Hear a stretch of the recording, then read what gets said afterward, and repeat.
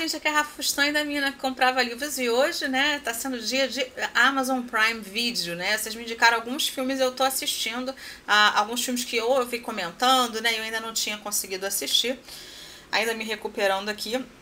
Desculpa se eu pausar algumas vezes, mas o fôlego ainda não voltou 100%, né? Então, mas vamos lá que uh, vamos comentar então, sobre coisas boas, esquecer um pouquinho aqui essa, essa quarentena.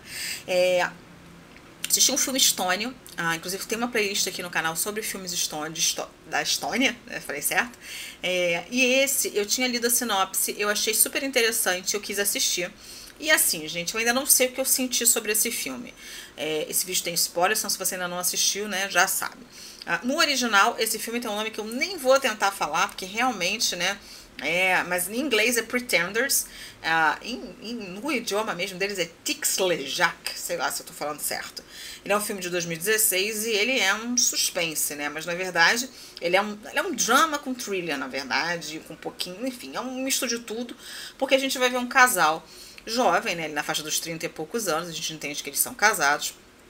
E eles estão se dirigindo para uma casa que não é deles, uma casa muito luxuosa. Logo que eles chegam, eles veem ali que a casa é lindíssima, né? E eles estão podendo passar umas férias que eles não teriam dinheiro é, para passar. Até porque o, o rapaz acaba de descobrir, logo no início, que ele vai ser demitido, ele é um jornalista.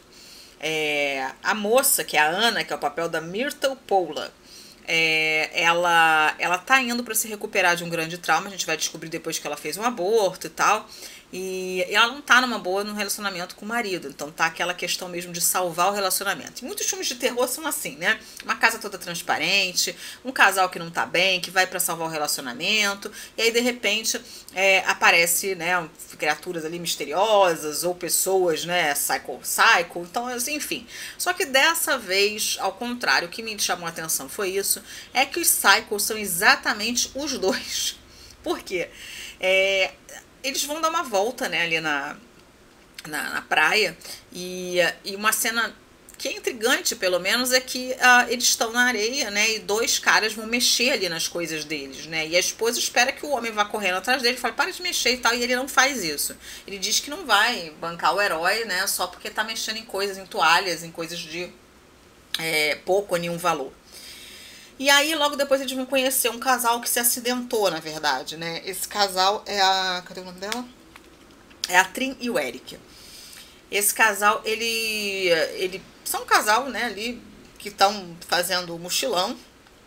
Ele, aí ela se acidenta, né? Machuca o pé. E eles são levados até a casa deles, né? Na verdade, a mulher insiste muito mais do que o homem, né? A Ana insiste muito mais do que o Yuhan, né? Que eles vão até a casa deles. É... Desculpa, gente. E aí, uh, o que vai acontecer é que a gente espera que seja, né, que, ou que eles sejam os maus, enfim, que aconteça alguma coisa. Mas não, o filme é extremamente lento, é, demora muito para acontecer alguma coisa. A gente começa a perceber o quanto essa mulher tem uma mudança de caráter. Ela passa a a fingir que é a melhor amiga dela, a Maria. A gente também percebe que eles têm ali uma inveja muito grande do casal que é dono da casa, porque eles têm mais posses né, do que eles, que inclusive acabou de perder o emprego. E aí ele eles fingem o tempo inteiro, e ela mais do que ele, mas ele vai na moda, na, na onda também, de que é, ele, ele, ele consiga ali, né, fingir o tempo todo que eles são uma, um casal que eles não são. Então a gente vai ver pessoas que trabalham na casa chegando, mas que não conhecem o casal, porque o casal só vai de vez em quando. A gente vai ver ela usando as roupas da Maria, que é amiga dela, é, começando a, a, tomar os vinhos que são do dono da casa. Ela ligando para Maria, mas não contando que eles estão recebendo pessoas estranhas dentro da casa.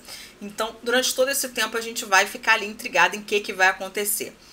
Ela começa meio que a flertar com o cara, né? A, a, a, a Ana, né? Com, com o Eric, que é o namorado da Trin o marido dela.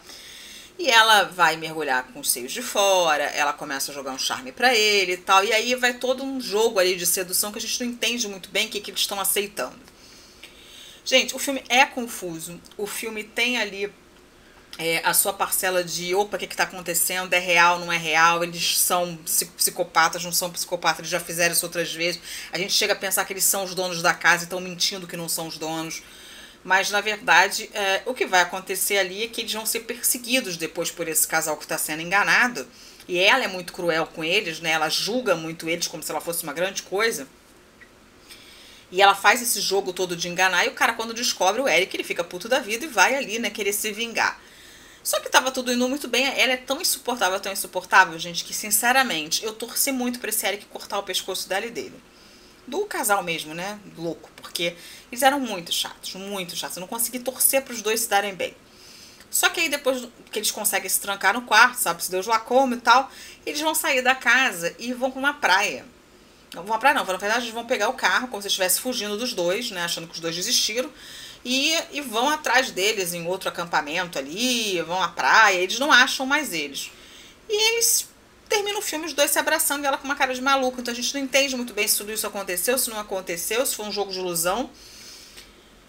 É, faz sentido que a nota do MDB seja 5, porque realmente é um filme que você fica duas horas esperando uma grande coisa acontecer os minutos finais são bons, porque você pensa, porra, realmente, estão sacaneando aqueles dois, eles estão rindo da cara deles. Então, se eles se vingarem, tá, tá maneiro. Mas até então, depois no final, vem aquela chuva, né, aquele balde de água fria do tipo, opa, não aconteceu nada daquilo. E aí, realmente, eu não sei nem o que comentar com vocês, porque para mim foi, foi muito ruim. Esse final para mim foi ruim, esse final aberto, esse final assim, nossa, será que aconteceu, será que não aconteceu?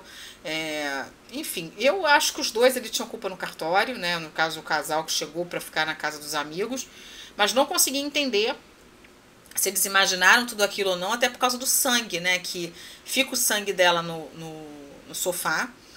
E, e, depois, quando eles voltam, não tem mais sangue. Então, isso me deixou meio encasquetada ali, né? Se, se eles existiram ou não, se tudo aquilo foi um fruto ali da imaginação fértil do casalzinho, né? Casalzinho Pinel. Mas enfim, é isso, gente. Minha nota é de que é péssimo.